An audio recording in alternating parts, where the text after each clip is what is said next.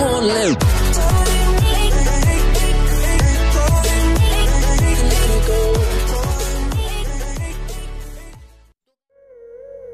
साथीहरू। आज फेरि म तपाईँहरूको सामु एउटा टेक्निकल सब्जेक्टलाई लिएर उपस्थित भइसकेको छु। मेरो च्यानललाई तपाईँहरू फलो गर्नुहोला। मेरो च्यानलमा मैले टेक्निकल चिजहरू पनि मैले लिएर आउनेछु र आफ्नो होम थिएटरको बारेमा पनि मैले केही जानकारीहरू पनि दिनेछु। र तपाईँहरू यदि इन्ट्रेस्टेड हुनुहुन्छ होम थिएटरको लागि भने तपाईँहरू मसँगै कनेक्ट भएर बसिदिनु होला मेरो च्यानललाई सब्सक्राइब गरिदिनु होला र आजको टपिक रहेको छ टेक्निकल सम्बन्धी कुरामा। त्यहाँदेखि लाइन गएको बेलामा पनि तपाईँले आफ्नो वाइफाई आफ्नो घरको वाइफाई राउटरलाई मजाले चलाउन सक्नुहुनेछ। त्यसैले यो ट्रिक अथवा यो डिभाइसलाई कसरी बनाउने र के गरेर बनाउने भन्ने कुरा म तपाईँलाई यो भिडियोमा मैले तपाईँलाई सिकाउने नै छु गरेर देखाउने पनि छु र मैले टेस्टिङ पनि गरेर देखाउने छु। तपाईँको वाइफाई राउटर घरमा भएको वाइफाई राउटरलाई पनि मैले त्यसैबाट चाहिँ टेस्टिङ गरेर चल्छ कि चल्दैन म तपाईँलाई देखाउने छु। र भिडियोलाई अन्तिमसम्म हेरिदिनु होला नत्र बुझ्नुहुन्न र तपाईँले यो भिडियो हेरिसकेपछि तपाईँले त्यो डिभाइस घरमै बनाउन सक्नुहुनेछ। त्यसैले अब त्यो कार्यक्रममा जानुभन्दा अगाडि तपाईँलाई एउटा सानो जानकारी दिउँ। यस मेरो टेक्निकल च्यानल लगायत मैले अर्को एउटा पनि च्यानल ओपन गरिसकेको छु। त्यसैले तपाईँहरू पनि त्यो च्यानललाई फलो गरिदिनु होला। त्यो मेरो च्यानल हो। च्यानलको नाम हो फोडी ब्लग्स। मैले ब्लग सम्बन्धी च्यानल खोलेको छु र तपाईँहरूले मेरो त्यो च्यानललाई पनि यो च्यानललाई जस्तै गरेर माया गरिदिनुहुन्छ भन्ने मलाई आशा छ। तर डिभाइस बनाउन जानुभन्दा अगाडि यदि तपाईँहरू मेरो च्यानलमा नयाँ हुनुहुन्छ भने कृपया लाइक सेयर र सब्सक्राइब गर्न नबिर्सिनु होला अब हामी त्यो डिभाइसलाई बनाउनुतिर लाग्नेछौँ त जाउँ साथी हो अब हामी त्यो डिभाइस बनाउनुतिर।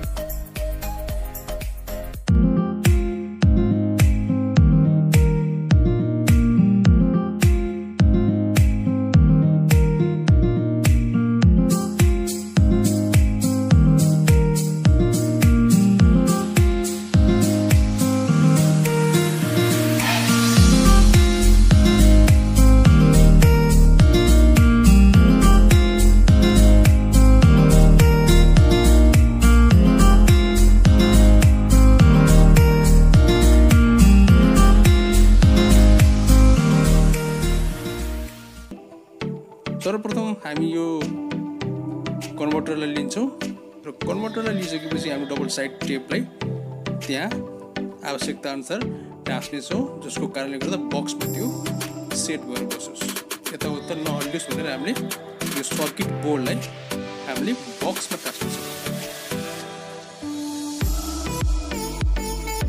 त्यसै तपाईँहरूसँग प्लास्टिकको बक्स भयो भने अति नै राम्रो हुनेछ जसमा इलेक्ट्रिक सक लाग्ने डर हुँदैन।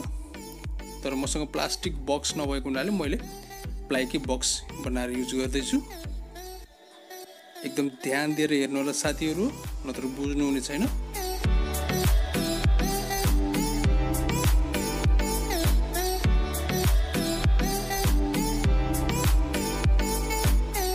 यो सर्किटमा हामीले दुईवटा पोइन्ट पोइन्टको लागि छोटो छोटो तार जोड्नु पर्ने हुन्छ। रातो तार हाम्रो पोजिटिभ भयो र कालो तार नेगेटिभ भयो।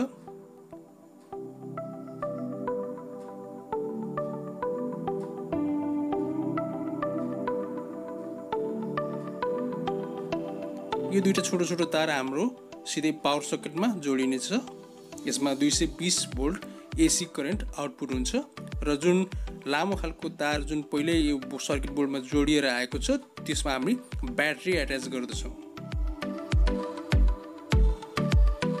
त्यस्तै यो सर्किट बोर्डको पछाडि पनि हामीले यो डबल साइड टेप टाँस्नुपर्ने हुन्छ। तपाईँहरूसँग स्क्रु छ भने स्क्रुले यसलाई बोर्डमा फिक्स गर्दा पनि हुन्छ। कुनै पनि तरिकाले तपाईँहरूले यसलाई फिक्स गर्न सक्नुहुनेछ। म यहाँ डबल टेप लगाएर नै म यो बक्समा फिट गर्छु यो सर्किटलाई।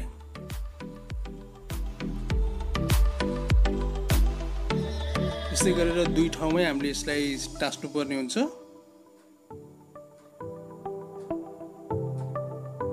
यो डबल साइड टेप टाँस्दा जहाँ यो सर्किट बोर्डमा हिट हुँदैन या कम हिट हुन्छ त्यो ठाउँमा मात्रै टाँस्ने गर्नु होला।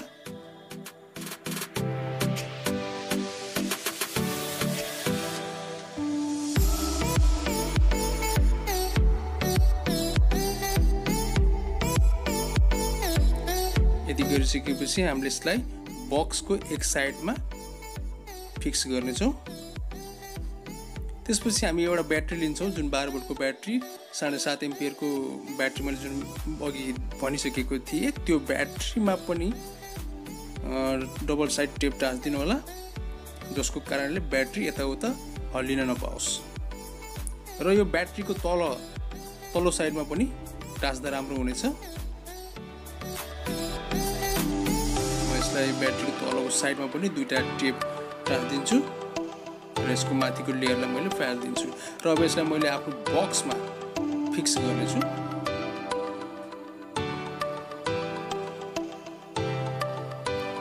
यसरी फिक्स गरिसकेपछि यो बक्समा चप्किनेछ चप्किनेछ र यो सेट हुनेछ।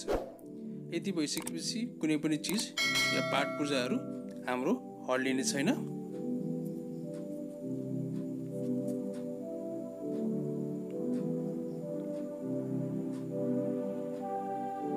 त्यस्तै आउनुहोस् अर्को चरणमा। हामी यो फिमेल सकेट डिसी चार्जिङको लागि यो पोइन्ट हामीले यहाँ दिन्छौँ। र यसलाई पछाडिबाट हामीले यसलाई टाइट गर्नेछौँ।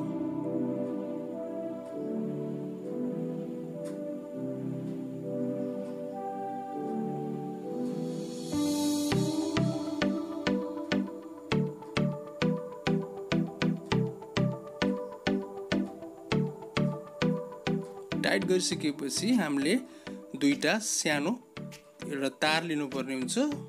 जुन तारलाई हामीले त्यो सर्किट बोर्डबाट आएको नेगेटिभमा नेगेटिभ पोइन्ट कनेक्ट गर्नुहोस् र पोजिटिभलाई पोजिटिभ पोइन्टमै कनेक्ट कनेक्ट गर्नुहोस्। यानि कि रातो तारलाई रातो तारमा कनेक्ट गर्नु र कालो तारलाई कालो तारमा कनेक्ट गर्नुहोस्। र ब्याट्रीमा चाहिँ अहिले नजोड्नु होला। अहिले ब्याट्रीमा जोड्न साथ तपाईँको जुन ब्याट्रीको पावर हाम्रो सर्किट बोर्डमा आउनेछ र हामीलाई झट्का लाग्न सक्छ। त्यसैले लास्टमा चाहिँ हामीले ब्याट्रीमा जोड्नेछौँ।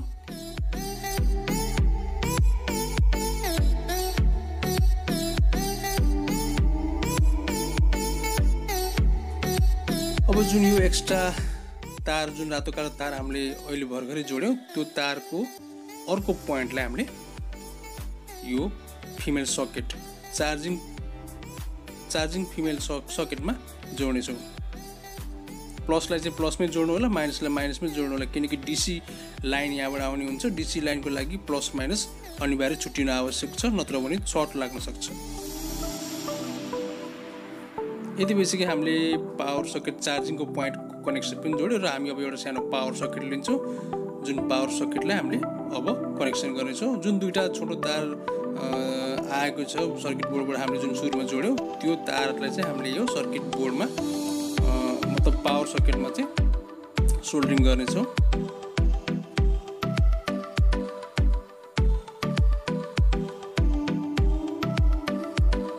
सोल्डरिङ गरिसकेपछि एक दुईचोटि तानेर या हल्का हल्लाएर हेर्नु होला कनेक्सन राम्रोसँग भएको छ कि छैन भनेर।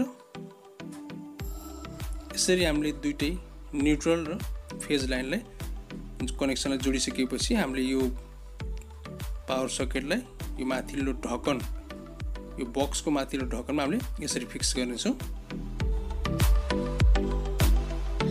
यति गरिसकेपछि हामी अब ब्याट्रीको कनेक्सनलाई जोड्न जाँदैछौँ। तपाईँको सर्किट बोर्डमा जुन एउटा इन्डिकेटरको साइडमा जुन एउटा स्विच दिइएको छ गोलो खालको त्यो स्विचलाई चाहिँ अफमै राख्नु होला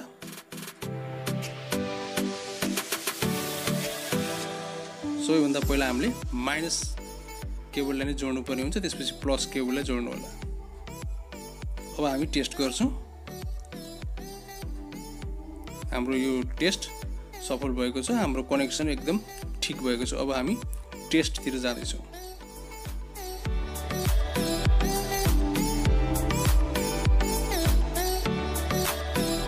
र यसको जुन एलइडी जुन रेड कलरको एलइडी छ त्यसलाई चाहिँ त्यो पालबाट चाहिँ बाहिर निकाल्नु पर्ने हुन्छ। तब मात्रै हाम्रो यस बोर्डको पावर अन छ कि छैन भनेर देख्न सकिन्छ। यसले इन्डिकेटरको काम गर्छ साथी हो।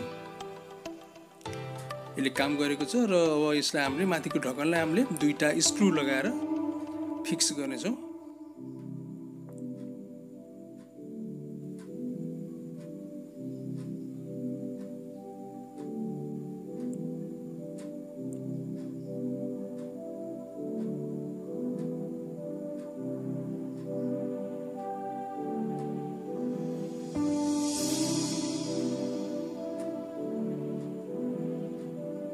बक्स केही हेभी हुनसक्छ किनकि यसमा ब्याट्री छ। ब्याट्रीको वेट अलिकति धेरै नै हुने गर्दछ। त्यस कारणले गर्दाखेरि अलिकति राम्रोसँग टाइट गर्नु होला साथी हो।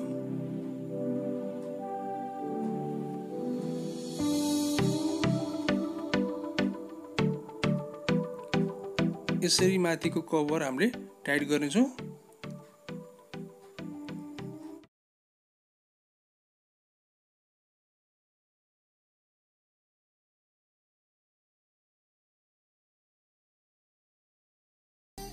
र अब हामी चार्जिङ गरेर हेर्छौँ चार्जिङको टेस्ट गर्छौँ र हाम्रो यो एडेप्टरबाट हामीले चार्ज गर्छौँ। यो चार्ज भइसकेको छ साथीहरू।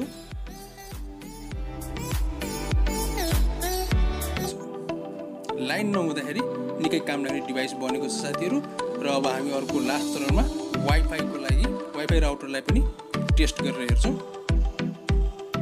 वाइफाई राउटरमा पनि लाइट बोलेको छ इन्डिकेटर बोलेको छ वाइफाई राउटर पनि सजिलोसँग चलेको छ साथीहरू।